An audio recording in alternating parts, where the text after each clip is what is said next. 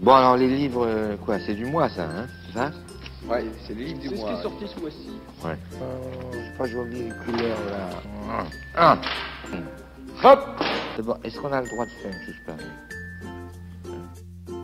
Hop À lire d'une main parce que de l'autre, on se ronge les ongles. Hop Hey salut à tous et bienvenue pour cette série de vidéos du mois de avril 2020. Donc c'est une lecture du mois dans laquelle je vais parler d'un manga, d'un comics et d'une bande dessinée. Et pour la première vidéo je vais parler de Promise Neverland, publié chez Kazé en français. Le scénariste est Kayu Chirai et la dessinatrice est Posuka Demitsu. Et j'avais les trois premiers tomes que j'avais achetés en occasion euh, déjà il y a quelques temps, j'ai enfin décidé, de les lire sans savoir du tout de, quoi parlait ce manga. Et comme j'ai vraiment hyper accroché, je me suis euh, bouffé les 11 tomes, euh, donc tout le reste avec en e-book après, assez rapidement. Et cette vidéo-ci va donc parler des 11 premiers tomes, donc euh, je vais spoiler. Du coup, si vous ne connaissez pas encore le manga et que vous êtes curieux et que vous voulez voir une vidéo qui parle uniquement, euh, qui introduit uniquement le sujet via le premier tome, allez plutôt voir la vidéo du chef Otaku, cet euh, odieux youtubeur d'extrême droite, hein, bien entendu. Mais donc sa vidéo est plus appropriée si vous êtes dans ce cas-là, quoi. Et donc Promise Neverland, comme je disais, je savais pas du tout ce que j'allais lire, ce que j'allais lire au moment où j'ai ouvert le manga. Moi, je pensais que ça allait être un récit de type euh, euh, revisiter l'histoire de Peter Pan. Je pensais que le personnage roux sur la couverture était Peter Pan. J'avais pas capté que c'était une fille, j'ai pas fait gaffe. Alors, effectivement, il y a quelques trucs qui se relient à du Peter Pan avec cette idée de monde des enfants qui se confrontent au monde des adultes. Et du coup, le renversement de situation euh, se passe dès le premier chapitre avec euh, la découverte que tous ces enfants ne sont qu'en fait que des bêtes d'élevage de luxe destinées à être mangées par des démons, par des monstres. Et j'ai trouvé tous les premiers tomes vraiment terrifiants, quoi, vraiment hyper angoissants à lire, euh, vraiment j'étais en état de stress en le lisant. Et le récit est vraiment génial, on arrive vraiment à te faire rentrer dans les enjeux, dans l'angoisse des personnages, ne pas être découvert, euh, dans tous les euh, combats psychologiques et intellectuels qu'il y a constant constamment entre tous ces personnages hyper intelligents. Et je me suis rendu compte après coup que ça avait été publié dans le Shonen Jump et j'étais assez étonné parce que pour moi c'était un, un seinen quand je lisais ça. Après je suis pas, après je suis quelqu'un d'assez impressionnable, hein. je suis incapable de regarder un film d'horreur. Mais c'est cool de savoir qu'on peut proposer des récits comme ça destinés clairement à un public adolescent parce que c'est vraiment classifié comme tel. Et d'oser d'aller loin en termes de noirceur et euh, d'anxiété présentée euh, dans un univers destiné aux adolescents. Et en plus, on met en scène des enfants qui sont une intelligence presque surnaturelle, quoi. Et donc, plutôt que de faire un récit qui va sous-estimer les enfants ou vraiment les prendre par la main et les prendre comme des adultes nuls et pas terminés, euh, on va vraiment placer les enfants à une très grande hauteur, à une très grande estime. Même peut-être surestimer l'intelligence que peut normalement avoir quelqu'un qui a 12 ans ou 11 ans à ce moment-là. Mais peu importe, je préfère à la limite qu'on surestime plutôt qu'on sous-estime. Et cette intelligence surnaturelle permet au récit de confronter les enfants face à des situations à la hauteur de leur intelligence et donc leur mettre encore plus dans la gueule quoi. Et ce qui est cool aussi avec le fait que ce soit du shonen jump, c'est que ça met en scène aussi une héroïne dans un cadre de récit shonen. Et ça c'est intéressant juste parce que c'est rare et c'est cool de voir des caractéristiques de personnages de héros de shonen genre euh, Luffy, euh, Naruto, etc. mis dans un personnage féminin et donc on va attribuer à Emma toutes des caractéristiques et des valeurs de virilité positives qui sont donc de la volonté, du dépassement de soi-même, etc. dans un personnage féminin et voir qu'aussi euh, elle peut se réapproprier ces codes-là et construire un récit où bah, la meuf Emma c'est vraiment une guerrière quoi, elle est, elle est incroyable, on, a, on est vraiment à fond avec ce personnage, on dit mais putain mais elle est vraiment tellement courageuse, moi je serais mort euh, avant le chapitre 2 et qu'aussi ce qui est intéressant c'est qu'on va confronter ce archétype de héros de shonen à un univers qui est de l'ordre de l'horrifique sous plein, euh, plein d'aspects quoi. C'est pas un monde euh, à la One Piece où on va aussi les confronter à des événements très durs, mais ça reste un univers qui, est de l'ordre de l'émerveillement quoi. Aussi l'univers euh, de Naruto, c'est un univers d'enfants soldats, etc. Donc c'est assez de guerre, c'est assez dur, mais ça reste un univers aussi de ninja, de pouvoirs magiques, etc. Donc on- il y a comme de l'ordre de l'émerveillement dans Naruto, même si l'univers est très sombre par beaucoup d'aspects. Ici, on est dans quelque chose de beaucoup plus froid au Promise Neverland, et les valeurs de cette héroïne shonen euh, classiques, qui donc euh, sont la volonté, euh, un courage à toute épreuve, le fait aussi d'être quelqu'un de très rassembleur, qui va créer facilement des liens d'amitié avec les autres et qui va réussir à fédérer un groupe de gens autour d'elle. Donc ça c'est vraiment un truc hyper classique. Tout ça va être vraiment mis à rude épreuve parce que une des caractéristiques aussi de ces héros de shonen c'est de jamais faire de compromis. Ils vont toujours jusqu'au bout de leurs idées. Ils vont pas accepter d'abandonner quelqu'un même si c'est la chose la plus rationnelle à faire quoi. Par exemple moi pendant le récit j'étais plus d'accord avec Rei, dire mais non on peut, enfin on peut pas sauver tout le monde, c'est pas possible. on va pas risquer de... On va pas risquer de faire écrouler tout le plan pour des idéaux surréalistes. Tandis que non, un vrai héros de shonen, ce que Rai n'est pas, même si c'est un héros par... euh, Même si lui est un héros de différentes manières. Une héroïne comme Emma va plier les problématiques et la dureté de l'univers sous sa volonté, quoi. Et que si le souci, parfois, avec ce genre de personnage qui arrive justement à outrepasser les difficultés du récit constamment, on sait qu'elle va gagner. Justement, parfois, les enjeux et les problématiques qu'apporte cet univers peuvent tout d'un coup sembler assez artificiels parce que le personnage a l'air de trop faire plier euh, sous sa volonté cet univers et que c'est lui qui a l'air de entièrement diriger le récit et, euh, et donc les problèmes qui se confrontent à lui n'en sont plus vraiment. Et cet aspect-là est dans un premier temps détourné par le récit, euh, déjà par la découverte de l'horreur de la situation, qui, ne sont, que des bêtes d'élevage, et aussi après par le sacrifice euh, tellement beau et noble de Norman, qui décide de euh, aller se faire livrer malgré toutes les injonctions contraires que leur donnent ses amis. Et là, c'était vraiment un moment magnifique, quoi. Norman euh, qui disparaît, Norman qui est vraiment aussi un personnage incroyable, très touchant. euh. J'adore les têtes différentes que lui fait la dessinatrice, avec euh, parfois une tête plus à la Charlie Brown, avec la bouche qui fait des petites vagues pour montrer sa gêne. Aussi, comme c'est le gamin du trio qui a la plus grosse capa- capacité cérébrale, on va le montrer parfois occupé de réfléchir, de manière très froide, très calculatrice, où, la dessinatrice va déformer son visage et sa tête, et où le presque ne sont plus sembler humain, quoi. Ça aussi, c'est un truc cool, comme ils sont dans un truc d'élevage d'élite. euh, maman, qui est leur éleveur, va leur donner une éducation hyper privilégiée, vraiment qu'on pourrait qualifier presque de parfaite, pour pouvoir nourrir les monstres de leur cerveau euh, hyper amplifié. Et dans le même temps, va leur donner les clés et les outils pour pouvoir survivre, se défendre dans cet univers, ce qu'un gamin normal ne pourrait pas faire normalement. Quoi. Et c'est fascinant de voir que les gamins de Gracefield, de par leur éducation, de par leur contexte dans lequel leur ennemi les a placés, leur ont confié en fait des privilèges qui font qu'en fait ils sont les seuls à être aptes à renverser le système dans lequel ils sont enfermés. Et donc ce système est à la fois leur oppresseur et est à la fois l'environnement grâce auquel ils ont pu développer les outils pour pouvoir mener une révolte. Donc euh, toujours cette ambiguïté, cette ambivalence, euh, rien n'est noir, rien n'est blanc, rien n'est vraiment gentil, rien n'est vraiment méchant. euh, ça rend le récit vraiment fascinant et tous les personnages sont vraiment traversés de, cette, euh, de ce paradoxe constant de la personnalité qui est aussi le reflet de ces sociétés qui, comme toutes les sociétés, a ces paradoxes. Et ça c'est un truc que Province Neverland fait constamment, c'est d'essayer de pas rendre manichéen les choses, de qu'il y ait toujours de- du paradoxe partout, constamment dans cet univers, comme le fait de te montrer la pensée de maman assez rapidement dans le récit, pour te montrer une forme d'empathie et qu'elle aussi elle, est une protagoniste du récit au même titre que le trio que tu suis. Et aussi le fait de te montrer la réflexion des démons, leurs émotions, que, que c'est pas si simple, que tout n'est pas si simple que ça. Et donc comme je disais, le fait que parfois un héros de shonen semble trop puissant par rapport à l'univers qu'on lui fait confronter, ici euh, j'ai hyper ressenti ça quand on a appris que Norman n'était pas mort. Vraiment, c'est quelque chose que j'avais très peur qui arrive. Je me disais mais non, il faut qu'il reste mort. C'est tellement une euh, mort magnifique, une mort sublime, une mort euh, qu'il mettait dans une espèce de panthéon de personnages incroyables. Euh, La noblesse, c'est vraiment le mot que je, retiens de Norman. Et en fait, non, il n'est pas mort. Et tout d'un coup, à partir de ce moment-là, on se rend compte que le récit n'est peut-être euh, pas aussi cruel que ce qu'on nous a présenté de prime abord dans le premier chapitre, où on nous, directement, on nous montre directement la mort d'un enfant qui est mis dans un bocal, etc. Où c'est vraiment affreux. Et effectivement, le récit n'est pas si seinen que ça. Et bien un shonen où on va pas nous montrer de la mort de personnages à outrance, comme dans euh, Attaque des Titans par exemple. Et c'est peut-être là aussi la limite du shonen, du genre shonen, qui va être beaucoup plus limité en termes d'impact qu'on va pouvoir infliger à ces personnages. Où la mort d'un personnage va vraiment être quelque chose d'exceptionnel, comme par exemple euh, dans One Piece, il y a très peu de personnages qui meurent malgré tous les combats qu'il y a. Et quand il y a un personnage qui meurt, c'est vraiment un événement marquant quoi. Là où dans l'attaque des titans, ben, euh, la mort est quelque chose de beaucoup plus quotidien, il faut faire avec. Et donc la mort réelle de protagoniste de le récit est quelque chose que j'ai l'impression que le récit m'avait promis et, qui n'arrive pas.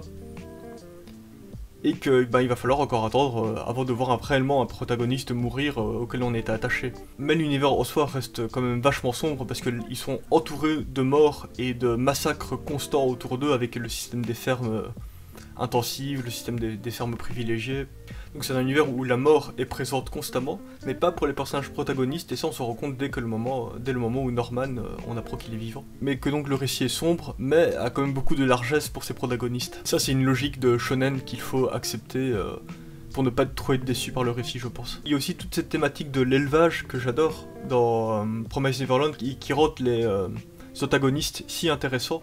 C'est parce que les démons, euh, enfin personnellement, enfin la première fois qu'on les voit, on dit oh mon dieu, ils sont vraiment monstrueux, c'est affreux, les pauvres gamins qui qui se rendent compte de ça euh, dès le début du récit, euh, après tout ce qu'ils ont vécu dans leur orphelinat et tout ça. Mais les démons, nous en tant qu'humains et lecteurs, on peut pas complètement les détester et les trouver si affreux que ça, parce qu'en fait ils sont tellement le reflet, un reflet proche de notre société agroalimentaire, avec il y a l'élevage intensif, il y a l'élevage plus privilégié dans les fermes, on va mieux s'occuper des animaux, mais en fin de compte, pour que la finalité, on va bien s'occuper d'eux pour qu'ils puissent mieux nous nourrir. Et puis aussi cette relation à la chasse, c'est-à-dire que certains démons font, de la chasse pour le pur plaisir, et ne, et recherchent pas forcément de challenge de la chasse, ils vont juste chasser des animaux euh, beaucoup plus faibles qu'eux, parce que parce qu'ils aiment bien ça, et d'autres euh, chasseurs, eux, vont être plus dans une relation de ambigu entre qui est la proie et le prédateur. Et je trouve que dans ce moment de chasse, euh, le récit a l'air de mettre une espèce de hiérarchie euh, éthique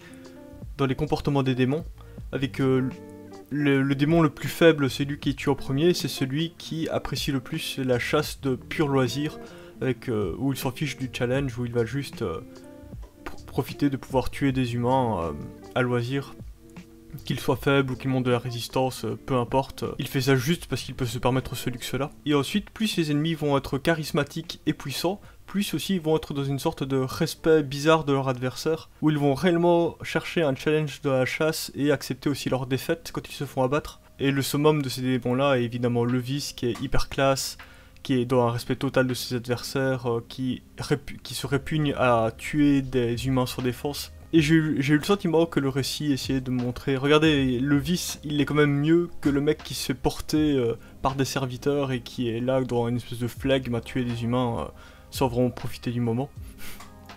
Et d'ailleurs, le vice aussi est intéressant parce qu'il est aussi dans une forme d'élevage avec ses proies, avec les fait d'essayer de les provoquer, de créer des douleurs chez eux pour euh, qu'ils créent du ressentiment envers lui, et qu'ils soient d'autant plus combatifs et que le combat soit donc d'autant plus intéressant. Lui aussi, une espèce de manipulation des humains, même dans un contexte de chasse. Et donc on rejoint à nouveau cette thématique de l'élevage, même dans la chasse. Et puis aussi, forcément, on nous montre la chasse la plus respectueuse possible, qui elle est faite par les humains, et aussi avec, avec une forme de ritualisation, de prière pour l'animal, de le remercier. Aussi, avant le repas, on, on voit les humains faire leur petite prière pour remercier, la nourriture, avec ce truc aussi très beau de la plante qui va absorber le sang de l'animal que l'on a chassé. Le récit a l'air quand même de poser des espèces de jugements moraux sur les bons chasseurs et les mauvais chasseurs, littéralement pour le coup. Et que c'est tous des comportements et des structures de société qui sont en fin de compte très ancrés euh, chez l'être humain, chez nous en tant qu'espèce. Donc on peut pas vraiment euh, détester les démons pour ce qu'ils font, quoi. C'est juste que là, on se retrouve de la position de la bête d'élevage. Et euh, ben c'est pas cool, forcément. Mais donc je trouve ça vraiment génial de mettre en scène des ennemis, des méchants, qui sont très proches de nous euh, dans notre société actuelle, quoi. Parce que ça nous montre que c'est pas si simple que ça, quoi. Les démons défaudent leur position, et les humains défaudent leur position. Mais qui a raison et tort dans l'histoire? Le récit ne tranche jamais, euh, et c'est ça reste très ambigu. C'est normal que quand on a un démon, bah, on défend notre place de démon, et quand on a un humain, on défend notre place d'humain, et on comprend pourquoi euh, tu vas défendre ta classe et euh, ton espèce. C'est aussi un truc que j'aime bien chez Emma, parce que c'est une héroïne de shonen. Donc, euh, un, héro- un héros de shonen va comme souvent montrer de l'empathie pour son adversaire, mais comme elle vit dans un univers extrêmement violent, où il y a eu énormément de désillusions, elle est quand même dans une position de ben je vais pas crever pour que toi tu puisses vivre quoi. Elle comprend la situation de l'adversaire, mais bon bah si on a chacun un fusil en main et que l'un de nous deux, doit survivre, ben je vais pas choisir de me sacrifier quoi. Donc elle est aussi quand même dans une forme de rationalité euh, où on se confronte au réel et donc il faut réagir euh, face à la situation, tout en gardant quand même euh, ce truc d'idéaux de vouloir sauver le monde entier. Et même ce truc de vouloir sauver le monde entier, au début elle dit qu'elle ne va faire aucun compromis, en fin de compte, elle laisse quand même les enfants en bas âge, même si c'est pour les sauver plus tard, mais elle fait comme un compromis de se dire bah non, bah, de la situation actuelle, c'est mieux de laisser les enfants en bas âge euh, quand on s'enfuit dans la ferme de Gracefield. Et donc, c'est chouette de voir aussi euh, un héros de shonen faire des compromis par rapport à ses idéaux, parce que la situation, l'univers, la réalité de l'univers va rattraper ses idéaux et qu'elle est obligée de concéder un peu malgré la position qu'elle tenait au départ quoi. Et ça c'est vraiment cool parce que le récit ne donne pas constamment raison à son héroïne. même si on se doute que la finalité, comme encore une fois c'est un shonen, dans le shonen jump et tout ça, la finalité va quand même être euh, euh, qu'au bout du récit, elle va attraper le One Piece, elle va devenir Okage, elle va libérer tous les enfants et, euh, qu'elle va régler la situation quoi. Il y a un truc étonnant aussi dans ce manga, c'est que souvent dans les entre deux chapitres ou en fin de, manga, on va nous montrer des moments un peu méta, rigolos, de, avec qui met en scène les protagonistes de manière différente, hein. il y a souvent ça dans les mangas. Et ici, on va nous montrer des personnages qui sont morts de manière euh, un peu atroce, genre Sor Krone. Euh, on va nous montrer des, gags avec elle euh, alors qu'elle est morte depuis déjà quelques temps de le récit. Ou alors on va nous montrer un des démons, le mec tout, en noir à Golden Pond. On va le montrer avec une pour faire une blague avec où maillot de bain. C'est vraiment, c'est assez étonnant quoi.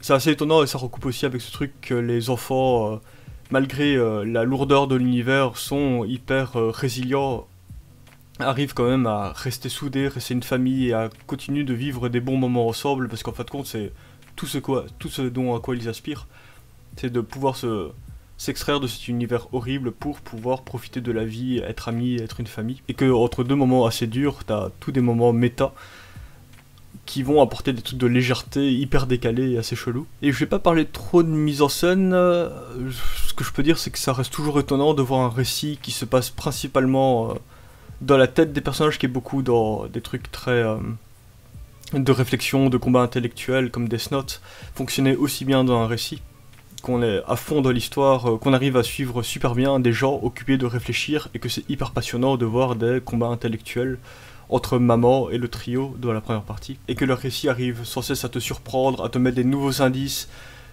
qui vont être révélés bien plus tard dans le récit, et donc toujours à, et donc toujours garder la bonne dose entre les réponses et les nouvelles questions qui se posent. Et que c'est vrai qu'une fois la sortie de Gracefield, là où on découvre l'univers extérieur, il y a quand même une... Euh, c'était tellement intense la première partie, que maintenant, même si je continue d'apprécier le manga, le trouve vraiment extrêmement bien, euh, je, ne sais pas si on arrivera à retrouver le même niveau d'enjeu, de mystère, de plaisir, d'exploration de l'univers et du récit et des enjeux.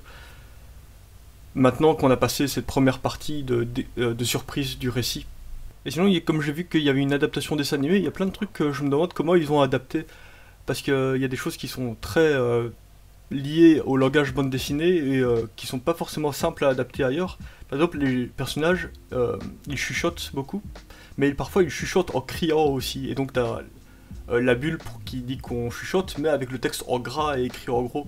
Euh, et donc euh, quand c'est des situations où la personne qui est proche de la personne qui chuchote en criant, et donc elle est pas censée l'entendre, donc même, même si on chuchote très fort, c'est stupide, hein, la personne va quand même m'entendre, donc c'est vraiment une, une manière de dire que la personne parle à voix très basse, mais que ce qu'elle dit est intense.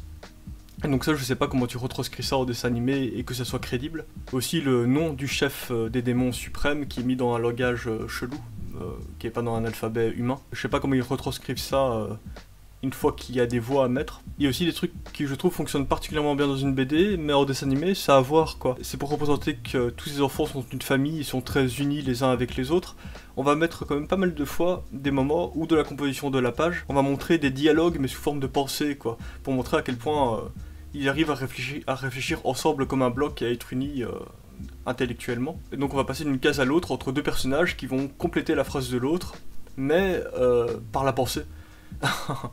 et euh, ça passe peut-être un peu moins bien en dessin animé, je sais pas. Là où dans une page de bande dessinée, bah, t'as la composition qui unit déjà les personnages au sein d'une page, qui sont juste à poser les uns avec les autres, quoi. C'est pas un plan puis un autre.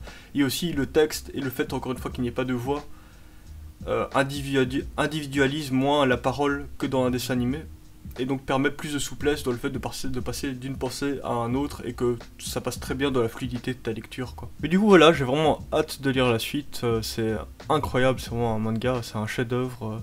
J'étais tellement à fond de le récit, j'arrêtais pas de réagir à voix haute. Mais non, ah, ah c'est pas vrai, ah, sauve-toi, ah, c'est tellement tendu, c'est tellement tendu. J'étais vraiment à fond dedans, c'était génial, j'ai vraiment adoré. Le trio Emma, Ray et Norman est vraiment fantastique, ils ont tous leur moment de, gloire, leur moment où ils vont briller. La première fois qu'on se rend compte qu'Emma est vraiment un personnage incroyable, c'est là où elle, juste après le, le soir, elle se rend compte de la vérité où il y a maman qui va essayer de l'inspecter et qui va faire un premier jeu psychologique avec elle pour voir si elle sait quelque chose, et que Emma arrive à, complètement surmonter le moment de tension en, en faisant euh, mine qu'elle est extrêmement de bonne humeur et joyeuse, et, comme d'habitude. Là on se dit waouh, ces personnages c'est bon, elle pose ses ovaires sur la table, on a envie de la suivre, c'est vraiment euh, c'est un personnage digne d'être suivi et on sait qu'on va être surpris par elle pendant le récit. Même si je pense que mon personnage préféré reste Ray, parce qu'il a tout ce background déjà avant même que le récit ne commence, avec ce truc où il sait depuis le départ que c'est les démons, qu'en plus c'est le fils de maman, ça c'est complètement fou aussi. Mais aussi son caractère beaucoup plus rationaliste, prosaïque, où il va être... Euh, où pour pouvoir survivre, il a dû apprendre à rester froid et distant par rapport à la situation euh, d'horreur qui se présentait face à lui au quotidien. Donc il a dû développer cette armure qui en même temps lui donne une espèce d'intelligence froide euh, qui permet de bien réagir, face aux situations. C'est vraiment un personnage fantastique lui aussi. Et puis Norman, hein, Norman qui aurait dû partir euh, comme le personnage le plus noble euh, de ce manga, mais c'est pas le cas. Donc, euh, donc j'espère que le récit va bien nous récompenser le fait de nous avoir enlevé cette magnifique mort pour nous montrer quelque chose d'encore plus incroyable que ce que sa mort définitive nous aurait apporté en tant que. Ça, on croise les doigts. Du coup, voilà, Promise Neverland, ça m'a aussi donné envie de faire une vidéo où j'ai compilé et parlé de plusieurs mangas, bandes dessinées, même de manière générale, où on est beaucoup dans la tête des personnages dans les trucs d'intellectualisation, comme donc Death Note ou Promise Neverland, et de montrer comment les auteurs, avec une mise en scène spécifique à la bande dessinée, arrivent à garder un récit intéressant, tout en nous montrant des choses qui ne font que réfléchir tout le temps, quoi. Je trouve ça hyper intéressant. Du coup, voilà, on peut passer à la prochaine vidéo.